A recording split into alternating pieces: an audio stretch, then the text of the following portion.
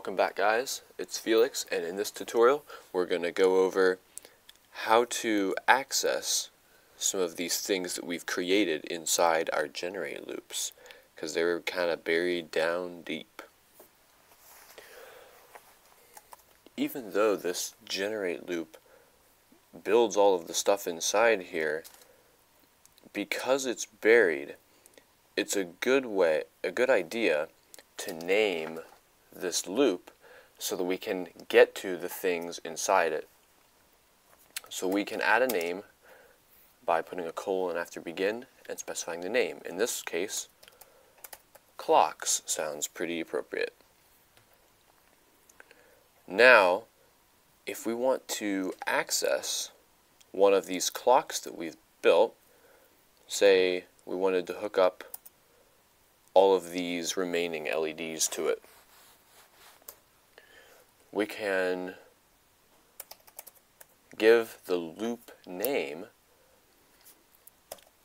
and then we give it an index of the loop, the specific loop that we want. In this case, since we've looped through three, four times, now the index comes from this genvar what it does is it takes this loop name and then starts at the index you give it. So since we started at 0 and ended at index 3 with our genvar, these specific generate blocks that have been essentially duplicated four times, these specific generate blocks have indices 0 through 3. If we started this at 1 and went to 5, then they would have indices 1 to 5. But we'll leave that at 0. And let's get 0. So that should be clock 2 to the 0, which would be the 1 hertz clock.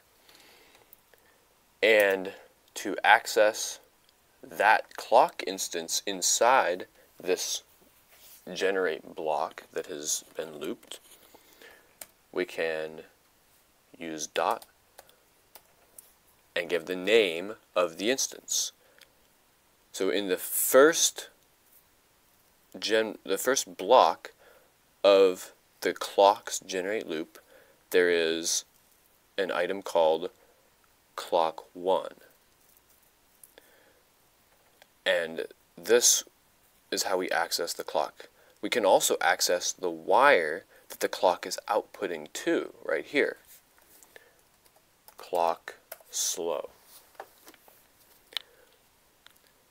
And now we can put this clock out that we have, the slow one, on anything outside of the generate loop. Before, when we didn't have a name, we had to use and assign it inside the generate loop. But now we can do it outside.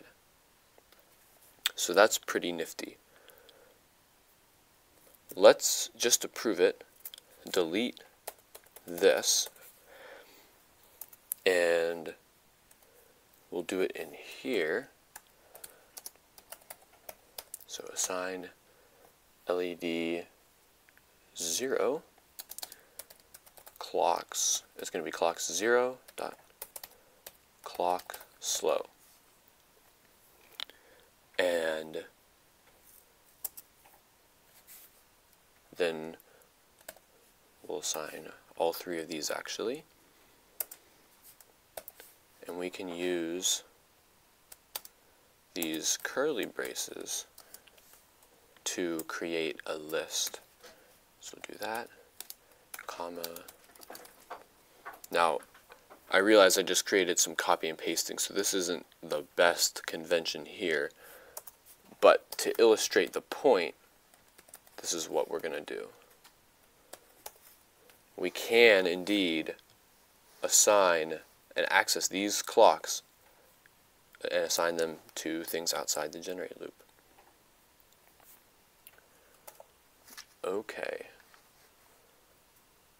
Let's build it. Looks like we got an error. What'll it be this time?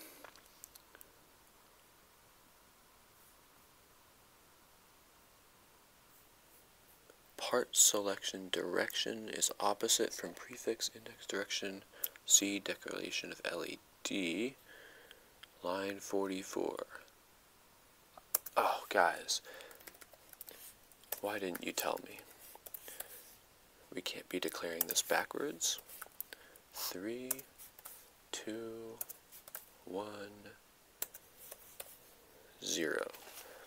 I do a lot of regular programming, so putting these indices in here in the opposite order sometimes catches me off guard. You gotta watch out for that. Let's try again. Alrighty. Upload. So we should be seeing our four lights still. There we go. And we set our, actually we only set the LED index 4 to clock 0 clocks, index 0 clocks slow. And that's because if you actually typed this guy out, you would see something like this. 7, 6, 5, and then the 4 would be the clock slow, which would be alternating between 0 and 1. So, that's why the other three are off, and if we wanted to hook them all up to that, then we would have to do that explicitly. Since we're in the mode of making everything as simple as possible, let's clean up a little bit. We no longer need these wires because we moved them in here and inside each new generate block the scope is reset so we can create four wires called clock slow but they can't see each other because each is in a separate generate block that's running. And then this is a bad idea. Let's not do that. Let's go back and set all these to zero. And uh, put our assign back in here. LED i equals clock slow. And so that's about as simple and reusable as you can make this. Again, these generate loops can save you a ton of time, especially when you're putting together hundreds or thousands of a certain module. You don't want to be copying and pasting that, trust me. So these are really nice for organizing your code and reusing code for circuits that you have already laid out as modules. If you recall in the last video I mentioned that the generate for loop is a little bit different from a regular for loop.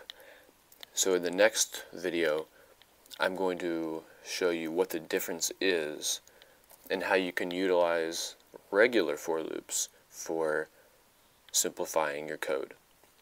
So stick around. See ya.